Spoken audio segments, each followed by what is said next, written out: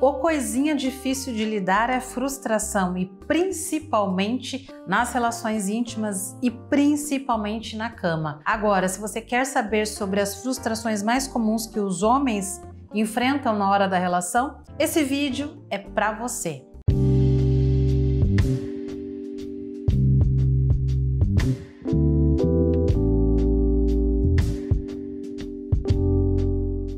Nome é Débora Martins, eu sou sexóloga especialista em tratar ejaculação precoce e disfunção erétil psicológica e o meu grande objetivo é fazer você se ver livre desses problemas. E quando a gente fala sobre relação sexual, se tem uma palavra que não combina, é a palavra frustração. Isso é terrível, né? Mas Débora, o que é frustração? Basicamente, frustração é quando a gente sente dor, é quando a gente se sente incapaz de alguma coisa, é quando a gente se sentir fracassado em alguma coisa. E quando a gente fala sobre a questão sexual, a gente pode chamar tecnicamente a frustração de ciclo da dor. E por que que a frustração ela é chamada de ciclo da dor nas relações íntimas? Pensa o seguinte, na relação sexual, quando a gente fala de resposta sexual, quando a gente fala de vida sexual saudável, a gente fala de uma sequência, que é o que a gente chama de ciclo de resposta sexual, que é composto por desejo, excitação, orgasmo e resolução. Mas vamos pensar nessas quatro fases como que uma escada, onde a base é o desejo, depois no primeiro degrau é a excitação, depois no próximo degrau o orgasmo e por último a fase da resolução. E vamos pensar que lá no topo dessa escada está o prazer, está a penetração, está o orgasmo, está a nossa entre aspas recompensa por uma boa relação sexual, que é aquele prazer gostoso, né, gente? Depois de um orgasmo, depois de ter alcançado o nosso ápice do prazer. Agora vamos voltar aqui à escada e pensar o seguinte: se na base é o desejo e no topo é o prazer, né, o nosso pico máximo de prazer, o que acontece no ciclo da dor é que quando a gente não consegue chegar a esse pico máximo do prazer, a gente acaba se frustrando. Ou seja, se você não consegue passar pela fase do desejo, né? Se você não consegue se excitar, se você não consegue passar pela fase do orgasmo, você acaba passando por essa escada e você vai passando por cada degrau completamente frustrado. Esse ciclo da dor é o verdadeiro cenário da frustração nas relações íntimas. Mas olha só, aqui eu quero que você diferencie, pelo amor de tudo aquilo que você acredita, a frustração do perfeccionismo. Por quê? As relações sexuais elas são diferentes uma das outras. Hoje pode ser bom, amanhã pode ser mais ou menos, no outro dia pode ser maravilhoso, como eu brinco no meu consultório, né? Maravilhindo. Então, as relações elas têm variações de intensidade, de gosto, de uma série de coisas. Mas é interessante que você comece a perceber como são as, as suas relações sexuais com um todo, com uma visão mais ampla. Porque se você olhar a sua relação sexual de uma maneira isolada, pode ser que você se frustre muito. Agora, é importante que você olhe como um todo. Então, nos últimos seis meses, nos últimos quatro meses ou nas últimas dez relações, quantas foram satisfatórias e quantas não foram satisfatórias. E a partir daí você começa a diferenciar o que é frustração e o que é possivelmente um transtorno sexual para o que é perfeccionismo. Por que, que eu falo sobre essa diferenciação? Porque, gente, criatura de Deus, perfeccionismo não consegue deixar nada bom nessa vida. Pode perceber que todo perfeccionista é tão detalhista, tão detalhista, que é como se nada nessa vida tivesse bom nada nessa vida tivesse bom. Por isso que nas relações sexuais é importante a gente analisar se a gente realmente está enfrentando uma frustração. Nossa, Débora, realmente, né? A cada 10 relações, 6 são ruins, 7 são ruins, opa, aí é frustração. Aí não é perfeccionismo. Agora, Débora, a cada 10 relações, uma não foi assim tão boa quanto eu gostaria. Aí, meu queridão, né? Toma cuidado. Mas vamos continuar aqui nesse vídeo. Agora, quais são os tipos de frustrações mais comuns na relação íntima, né? Na relação sexual. A gente tem a ejaculação precoce. E Débora, o que é a ejaculação precoce? É quando você vai para a relação sexual, você vai com desejo, você tem ereção, você tem excitação, só que aí quando você fica muito excitado, você acaba chegando ao orgasmo, você acaba ejaculando muito antes do momento em que você deseja, ou muito antes da parceria, ou você gostaria de aproveitar mais o prazer, mas simplesmente parece que a coisa explode. E aí você não consegue durar tempo suficiente na relação. A ejaculação precoce ela acontece quando o homem ele chega ao orgasmo por volta de um minuto de relação sexual. Se você tem uma ejaculação depois, ali por volta de cinco minutinhos, então nesse caso é a ejaculação rápida. Tanto um quanto o outro causam frustrações. Então aqui eu já deixo uma perguntinha para você. Você tem dificuldade em segurar a ejaculação? Você goza muito rápido na relação? A sua parceria reclama que você é rápido demais e que você acaba deixando a desejar? E não só a parceria, você gostaria de aproveitar mais tempo, de aproveitar mais posições sexuais, você gostaria de se sentir mais relaxado durante a relação, mas não consegue? Isso tem um nome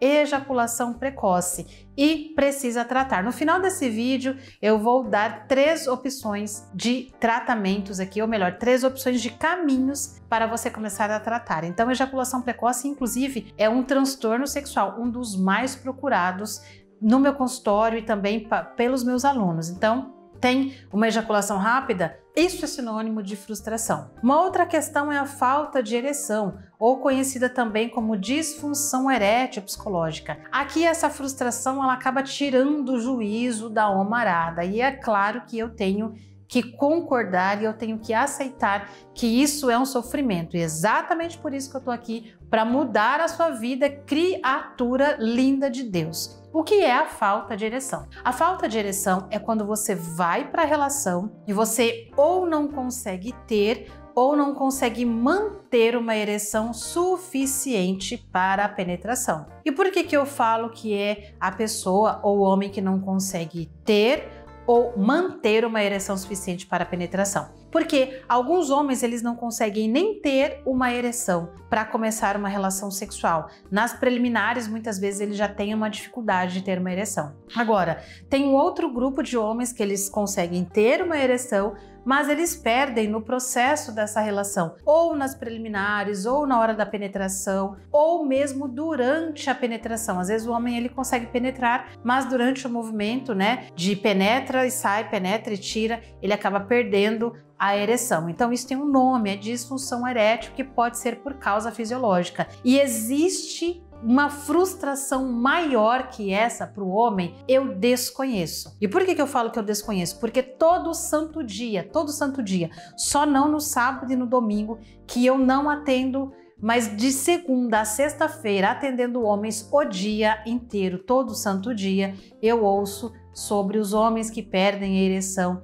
E eles falam, Débora, é a pior coisa na vida de um homem. Então, isso é uma frustração e você não precisa viver com isso. Uma outra frustração bem comum que acontece na cama é a ejaculação retardada ou a anorgasmia. Embora seja pouco falado, né? As duas maiores são a ejaculação precoce e a disfunção erétil psicológica. Já a ejaculação retardada ela é menos falada, mas traz sofrimento não menos importante. Na ejaculação retardada é aquele homem que sim consegue ter uma ereção, sim ele até consegue sentir prazer na relação, mas ele não consegue chegar ao orgasmo. Se você não consegue chegar ao orgasmo nunca, nem nas relações e nem na própria masturbação, então é possível que você sofra com a anorgasmia, que é a incapacidade de conseguir chegar ao orgasmo. Agora, se você consegue chegar ao orgasmo, se você consegue ejacular na masturbação ou quando você está sozinho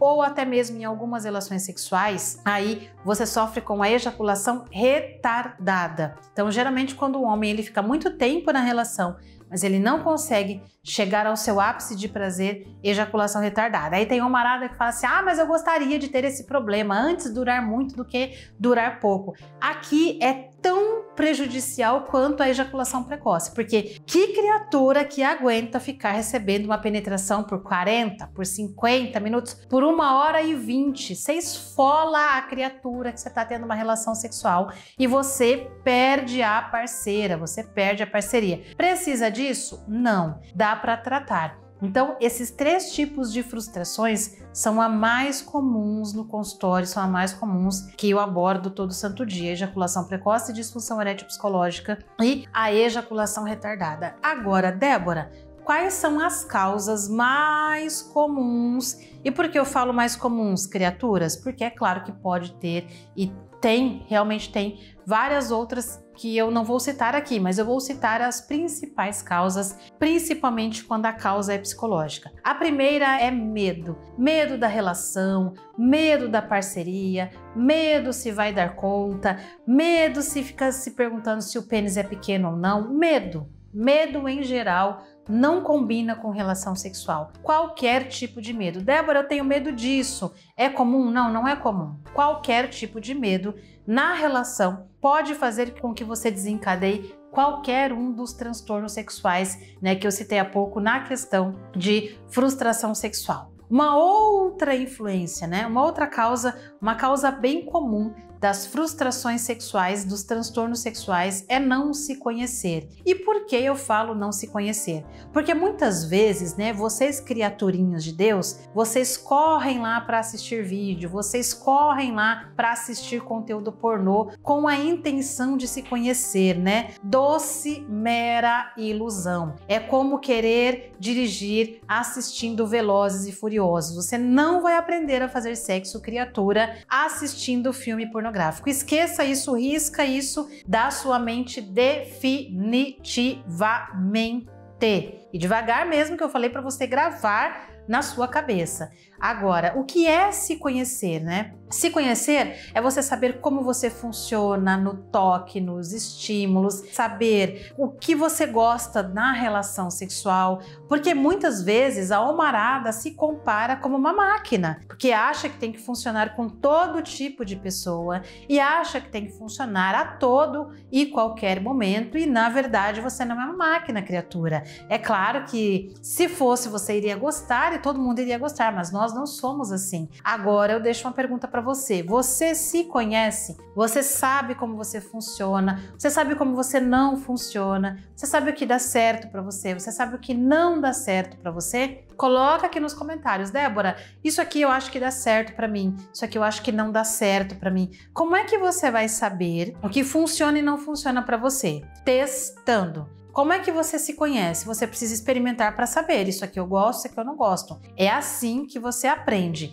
E antes de eu continuar aqui sobre as causas mais comuns, coloca aqui nos comentários o seu comentário. Coloca só um boa noite, Débora, bom dia, Débora, e já tá bom demais. Curta, compartilhe esse vídeo para que o YouTube ele entenda que o meu conteúdo é importante para que ele entregue para mais pessoas. E não esquece também de se inscrever no meu canal, ativar o sininho porque eu preciso de você, você precisa de mim, assim somos lindos, belos e maravilhosos. Então, inscreva aqui no meu canal porque eu quero ver você todo santo dia aqui assistindo meus vídeos, viu, criatura de Deus? Então, continuando as causas mais comuns, é você não conseguir se excitar. O item que eu sempre comento sobre autoconhecimento, a excitação, ela acontece pelo autoconhecimento. Ou de você fazer o que você gosta, ou de você ensinar a sua parceria a fazer o que você gosta. Débora, mas eu tenho que ensinar a minha parceria a me dar prazer? Tem. Independente se a sua parceria é homem, independente se a sua parceria é mulher, é importante que você ensine a sua parceria a te dar prazer, porque ao passo que você ensina, ao passo que você se conhece, ao passo que você faz o que você gosta, que você recebe o que você gosta, pum! A excitação acontece. A excitação acontecendo, meus queridos, você consegue relaxar, você consegue controlar a ejaculação, você consegue conseguir alcançar uma ereção de qualidade, você consegue relaxar ainda mais, aumentar esse prazer e chegar ao orgasmo. Maravilha, tudo certo, lindo e maravilhoso. Mas, Débora, acabaram-se as causas? Não, ainda tem mais uma, né? Ainda tem mais uma que eu quero citar para vocês. Uma das grandes causas também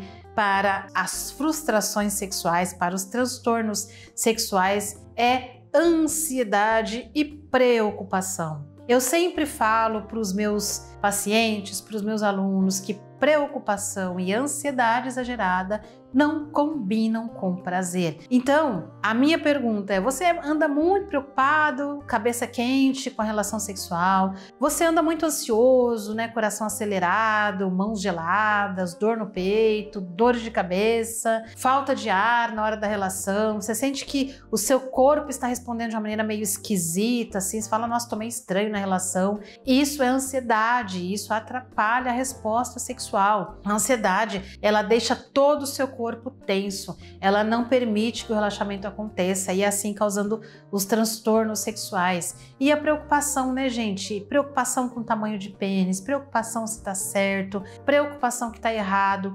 Via de regra, criatura, você precisa relaxar, deixar a relação sexual o mais leve possível. Débora, dá? Claro que dá. Agora, como é que eu trato, Débora, todos esses transtornos sexuais a fim de não ter mais frustração sexual? A primeira coisa é conexão sexual. Você sabe o que é conexão sexual? Você sabe como funciona a conexão sexual com você? Você sabe quais são os tipos de conexões sexuais? Alguns dias atrás eu estava dando uma mentoria para os meus alunos, né? Que alunos, Débora? Mentoria de onde? Os alunos do meu programa Potência Masculina. Pois é, todos os meses eu também encontro com eles uma aula ao vivo onde a gente bate um papo sobre vida sexual e eu dou alguma aula bem específica para os alunos. Eu estava alguns dias falando sobre os três três tipos de conexões sexuais. E sempre quando eu dou essa aula para as turmas novas do meu programa Potência Masculina, os caras já falam: identifiquei qual é o meu pilar sexual, qual é o tipo de conexão sexual que está me atrapalhando na vida sexual e causando aí os transtornos. Então, como é que você resolve os transtornos e as frustrações sexuais? Primeira coisa, conexão sexual. Segunda coisa, nível de excitação, que é o que eu chamo também de régua de prazer. Isso aqui é um nome que eu que não é nada técnico, né? Convenhamos. Mas o que é régua de prazer, criatura? Régua de prazer é para você ter uma ereção de qualidade, né? Para você ter um pênis enrijecido, você precisa ter um alto índice ou um alto grau de excitação. Tudo tem que estar tá muito quente para você, lindo, belo, maravilhoso. Agora, se você viver na excitação extrema, você vai gozar muito rápido e eu acho que você não quer isso, né? Nem a sua parceria. Aí a régua de prazer, opa, diminui o nível de excitação. Então, basicamente, a relação sexual ela tem essa régua de prazer. Eu quero uma ereção, opa, e nível de excitação lá em cima. Opa, agora eu quero durar mais, nível de excitação a gente diminui um pouquinho. Então, equilibrar esse nível de excitação ele é importante. Existe um exercício para isso, que é o exercício chamado ponto de não retorno, onde você consegue equilibrar esses níveis de excitação. E onde é que você encontra